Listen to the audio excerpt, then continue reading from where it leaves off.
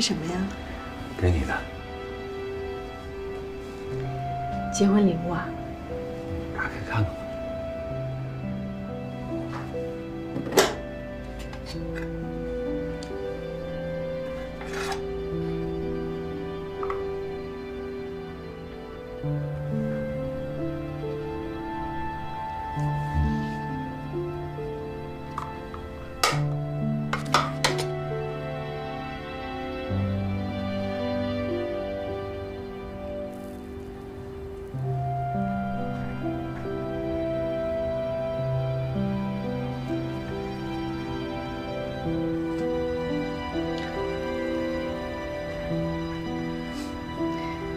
你这么快就决定把财政大权交给我了？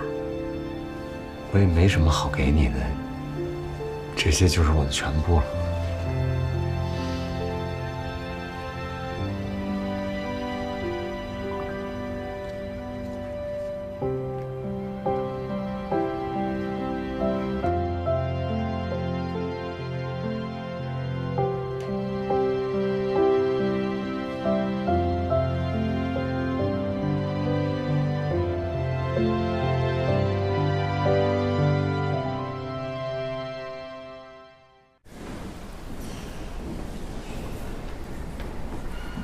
给大家通报一个好消息，东风二号已经顺利完成了出厂验收。院里给咱们总体部分配了一个重要的任务，挑选几名同志去发射场，配合下个月中旬的发射工作。下面我念到名字的同志，抓紧时间回去收拾一下行李。明天中午以后，院里统一出发。黄志明、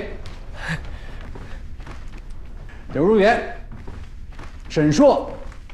高守俊、孙家栋、李玉成，都清楚了吗？清楚了。抓紧。哎，你还记得安德烈走的时候说过什么吗？哼，他说就算给咱们五年的时间，中国人也做不出自己的导弹。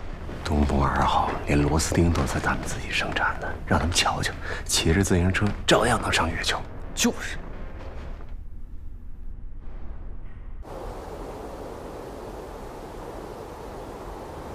不应该呀，这个点他们应该早就到了。司令员，五院的车队会不会是迷路了？中午东边的风沙特别大。他们是九点出发的，中午赶上风沙，呃，最慢也应该到了月牙坎。工程队今天就在附近施工，而且离月牙坎不远。马上联系李东海，让他带人去接一下车队。是。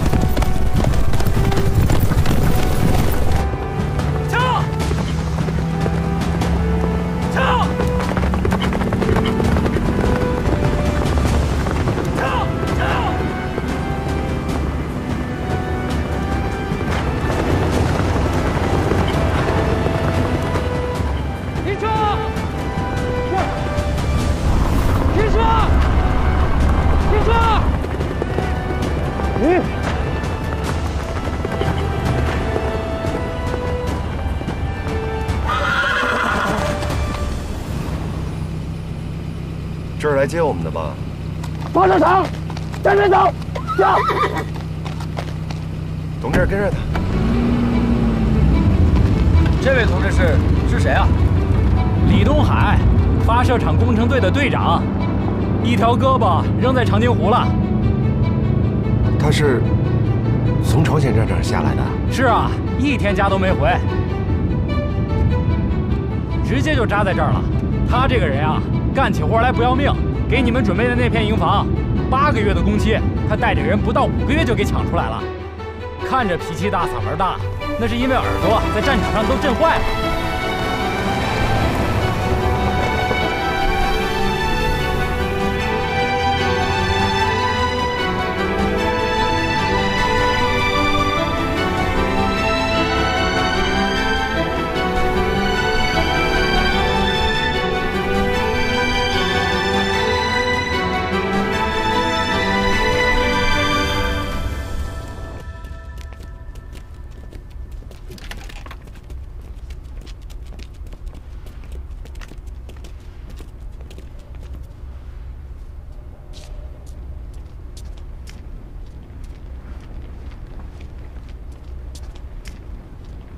李队长好，孙家栋同志，我们的检查已经检查完毕，请开始你们的工作吧。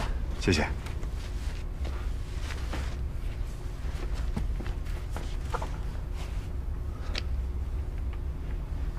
志明同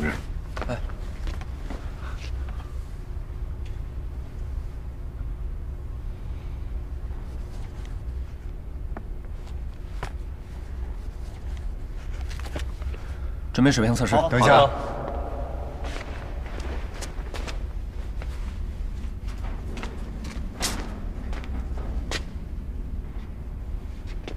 保险丝头，排查所有细小异物。是。快！来，志明。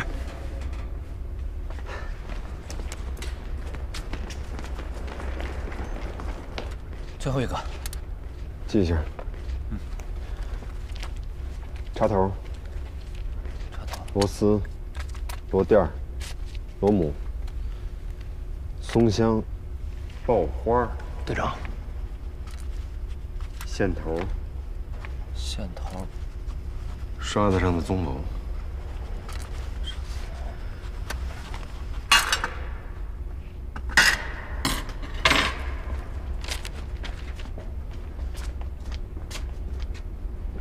哎，这是什么？这里就能爬出老鼠。那记上。老鼠洞。我认为今天的水平测试应该取消，必须排查所有的安全隐患，老鼠洞都得堵上。宋家栋，发射日期已经定了，耽误了时间，谁负得起责任？李队长，导弹的存放有严格的要求，时间再紧也，您也不能忽视这些细节。这都是极大的安全隐患。茫茫戈壁滩上，连野草都长不了几根，哪来的野耗子？就算是有野耗子，这么大的铁家伙，他也能给咬坏喽！李东海同志，我我们也是按规定办事。那我也按规定办事。停止实验不是你说了算，我要跟基地领导汇报。现在，你们都先给我出去！家栋，孙家栋同志。我要很严肃的跟你说这样一个问题啊，这李东海现在就是军阀作风，蛮不讲理。如果这么一直不配合的话，咱们工作怎么进行啊？我认为啊，咱们俩还是应该跟厂领导他们。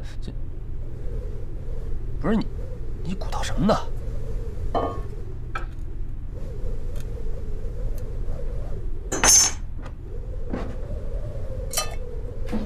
哎，大晚上你干嘛去啊？我找李队长去。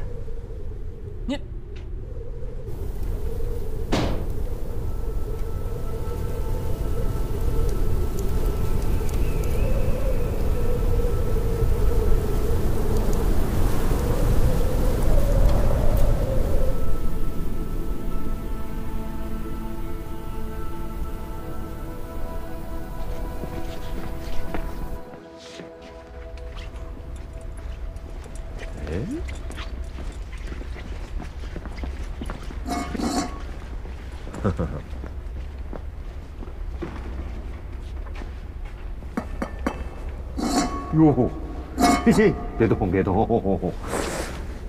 哎哎哎，慢点儿，别着。哎嘿，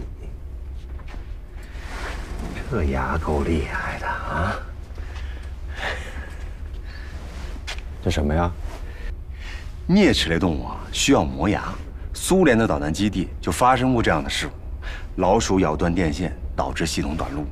他们还把高粱运到了导弹的内壳里。哎呦，好像不止一只啊！啊，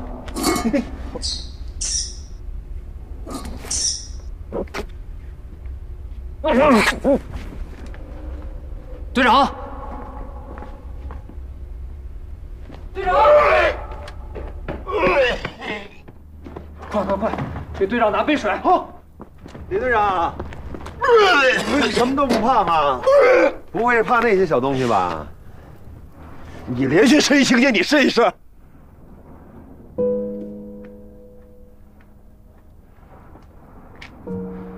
长津湖战役打到最后，连里没有口粮了，上上下下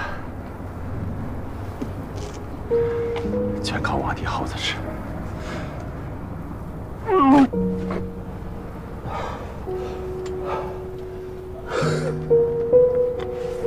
没想到，太不容易了。你们都是英雄。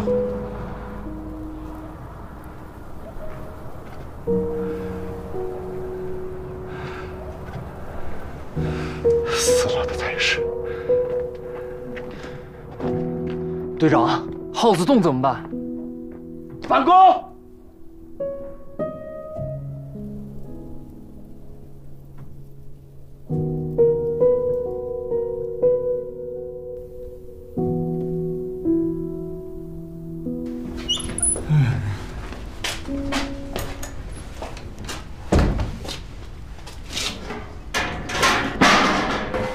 六没水。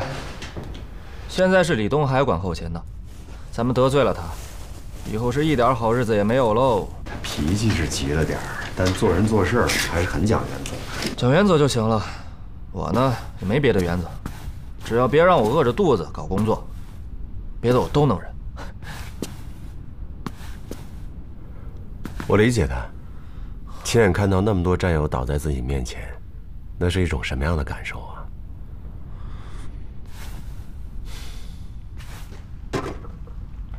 谁啊？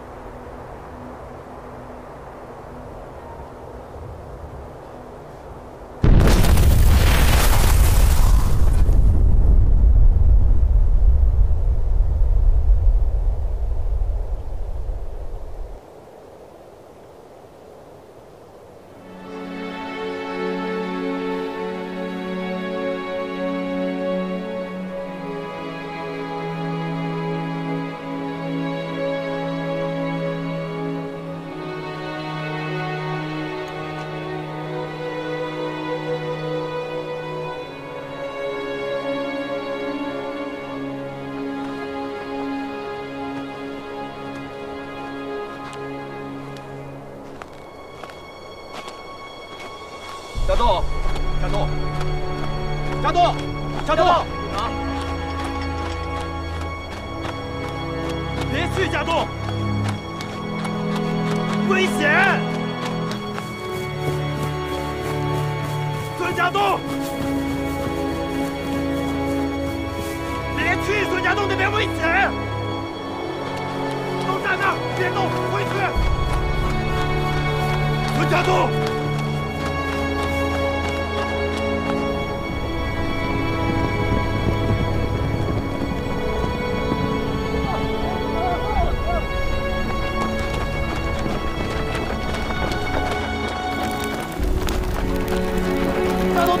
同志，你慢点儿！孙家栋，孙家栋，你干嘛？赶紧往后，可能会二次爆炸，危险！孙家栋，孙家栋。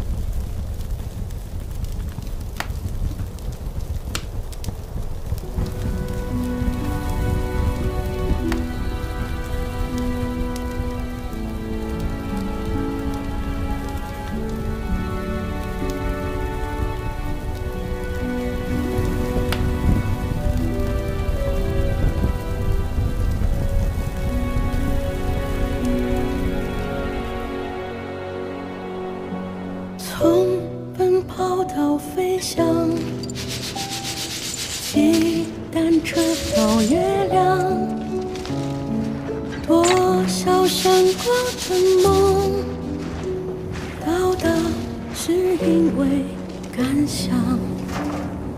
旅人离开家乡，汽笛还在回相信比天更远的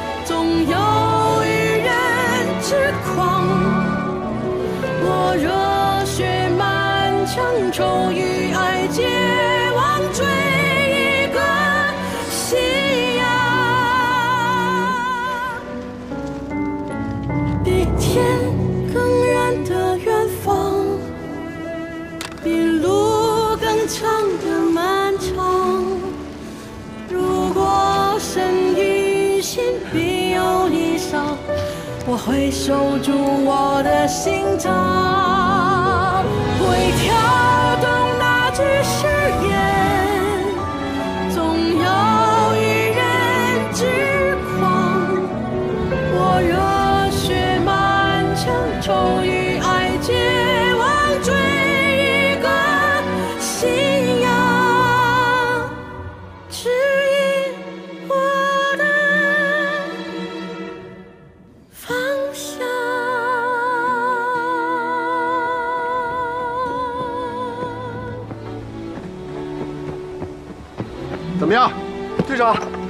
他不肯回来吃饭，还在那挖呢。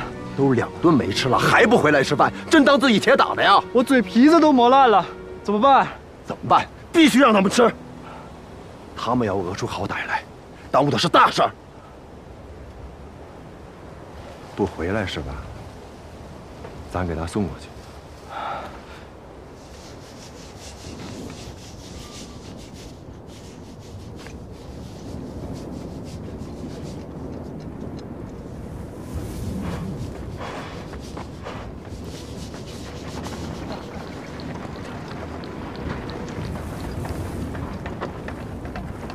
同志们，别忙活了，快上来吃饭！快一点儿，大家！哎，哎呦，哎，志明，哎，志明同志来，哎哎，快，老李上来吃饭，赶紧的！老李啊，不能吃饭了，来不及了。你赶紧的，耽误不了多少功夫。不，行，哎，这个，来，志明，快！不行不行，真的没时间了。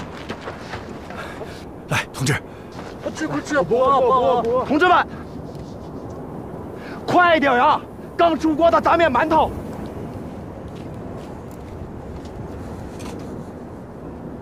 我告诉你们啊，像我李东海，当年也是带过蒋坛打胜仗的人，穿过鸭绿江，打过三八线，三四千的兄弟听我一个人指挥。现在吃顿饭我都指挥不动你们，饭送到嘴边都不吃，干啥呀？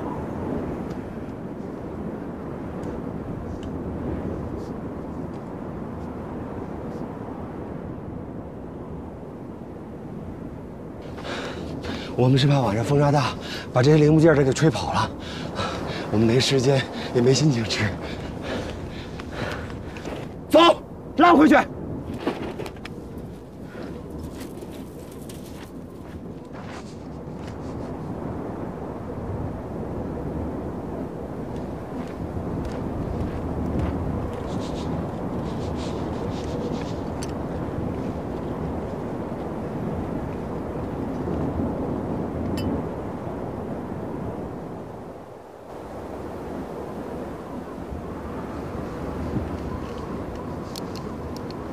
电池啊？你拿我的。有电池吗？你还有电池？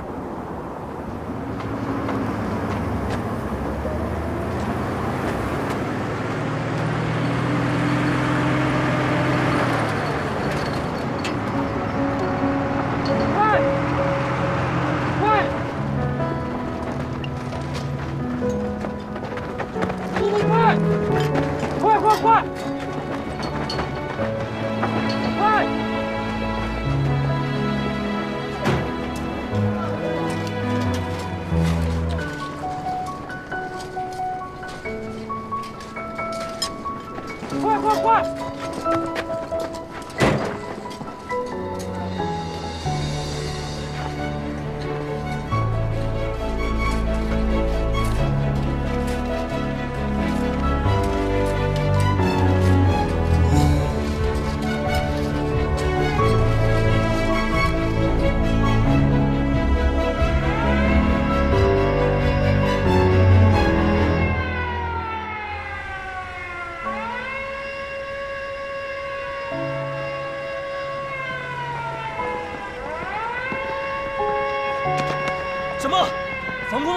别紧张，是老蒋的侦察机。雷达站刚刚发现，听说是知道咱们导弹发射失败了，专门来拍照片的。在哪儿啊？我怎么没看见啊？第二侦察机都活动在两万米高空以上，肉眼根本看不见。别看了，要能看得见，老子给他打下来。高射炮都打不着，除非咱们有地空导弹。谁叫咱没有啊？落后就得挨打呀！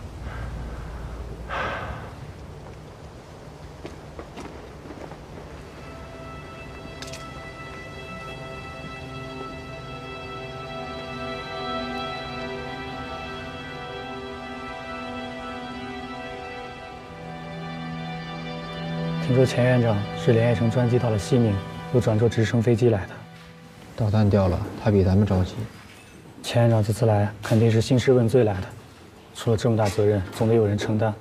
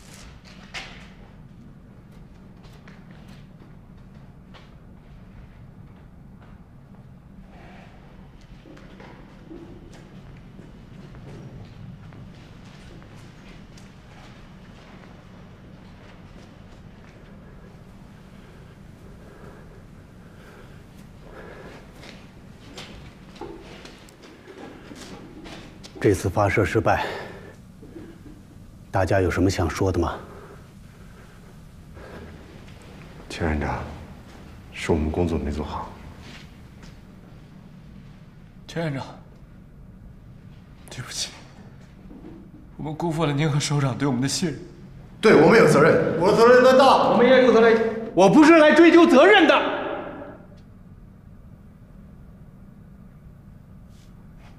要说责任，首先是我钱学森的。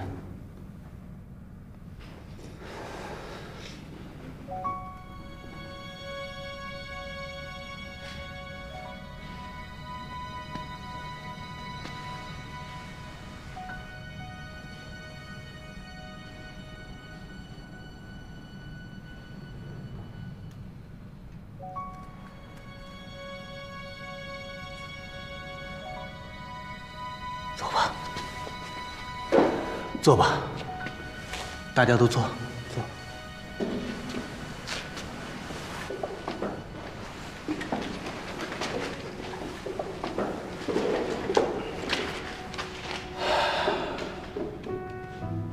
嗯，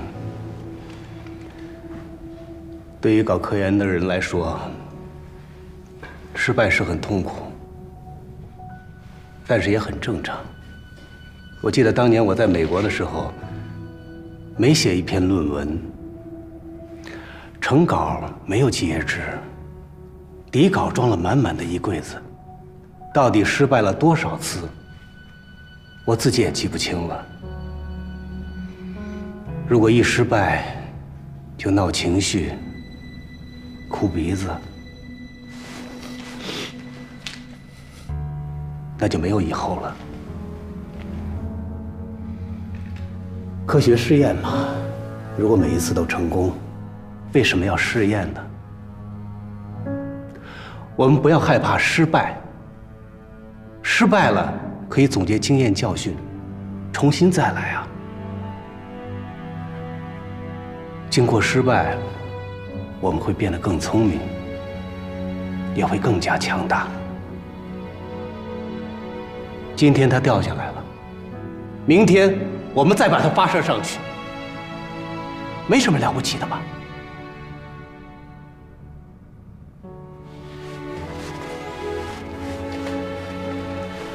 连长，那接下来我们该怎么做？该吃饭吃饭，该睡觉睡觉，不能因为失败了连饭都不吃了，对不对？我跟厂部的领导说了，今天给大家加餐，我跟你们一块儿吃。啊，开饭吧！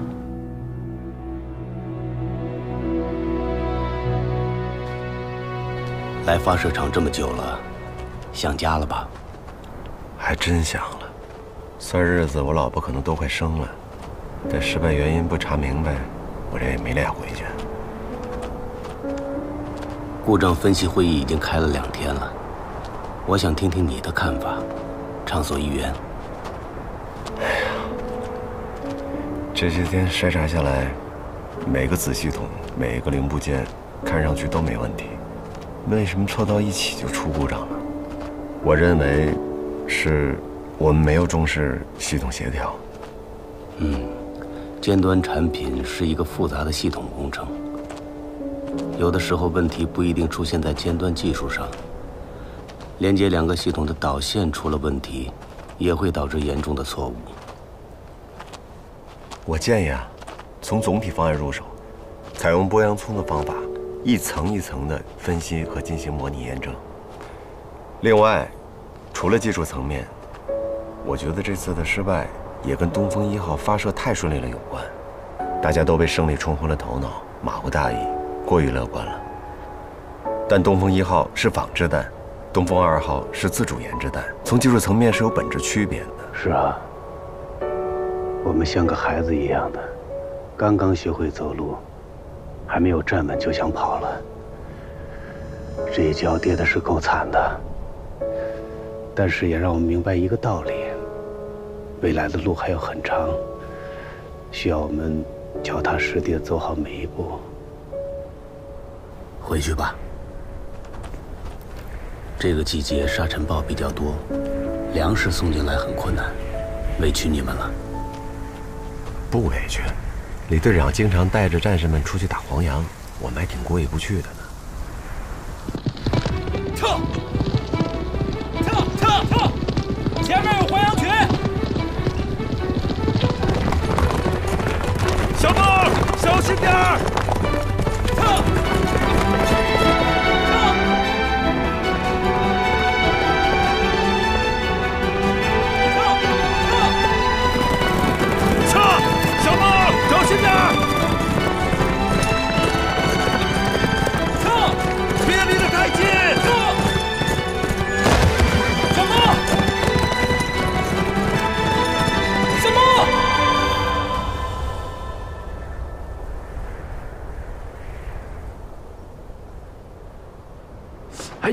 松开！这包子都是按人数算好的，你拿走了就有人挨饿。你你别走，别走，你拿出来，拿出来！哎哎哎，怎么回事？我看得清清楚楚，拿两个羊肉花包子放怀里了？你胡说！那你怀里什么？哎，都是同志，不至于的。那包子都是定量的，少两个怎么办？啊算了，我不饿。我这样啊，不能就这么算了。哎，李队长，正好啊，您看，我可没养你的人。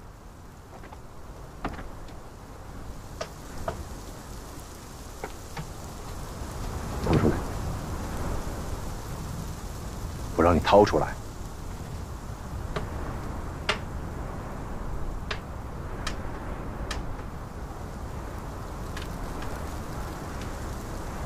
馋鬼脱生，咱二舅团的脸都让你给丢尽了。先快击毙！小梦快不行了，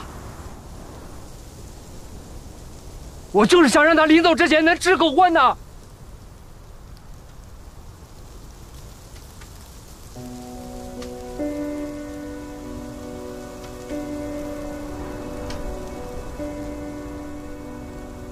他不是有病号犯吗？工程队的病号犯，半年了，没见过一点油水。我们打来的黄羊要保证技术人员。小孟前两天还跟我说，做梦吃了一顿饺子。他又不是为了多打几只黄羊，能摔得这么重。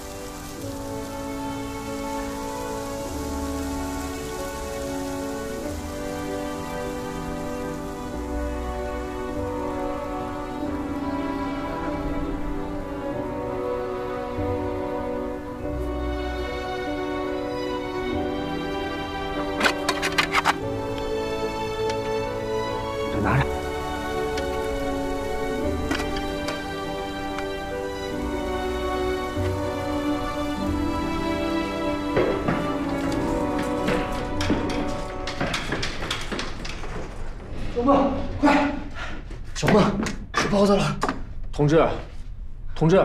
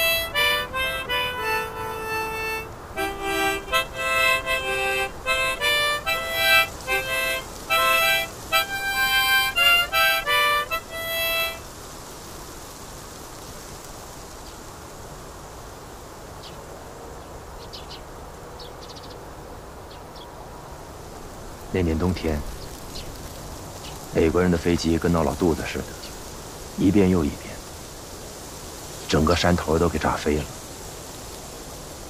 小梦背着我下了山，后来我们就来到了大西北。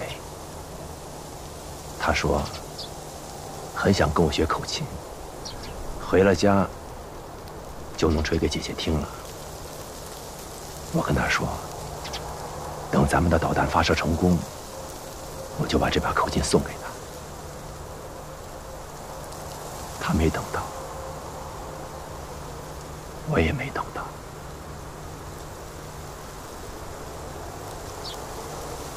你们都牺牲太多了。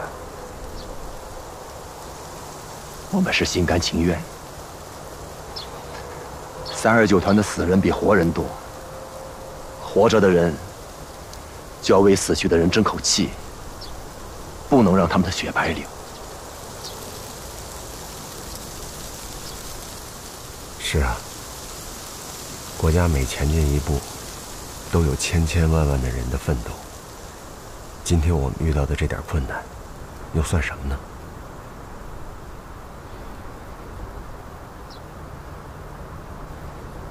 科学家，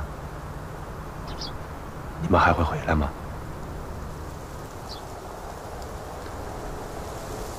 我们一定会带着新导弹回来的。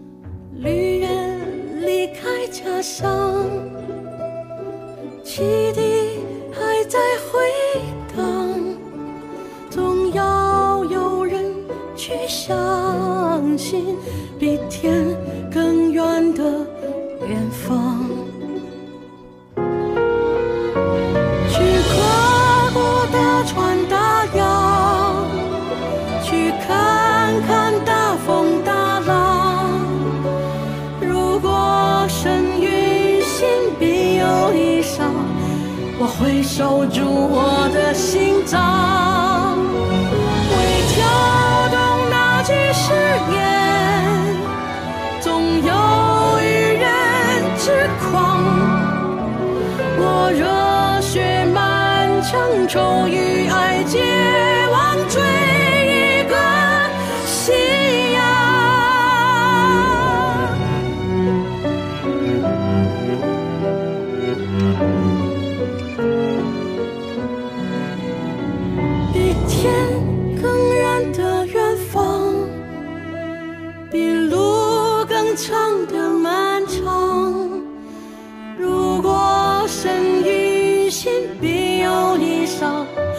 会守住我的心脏会跳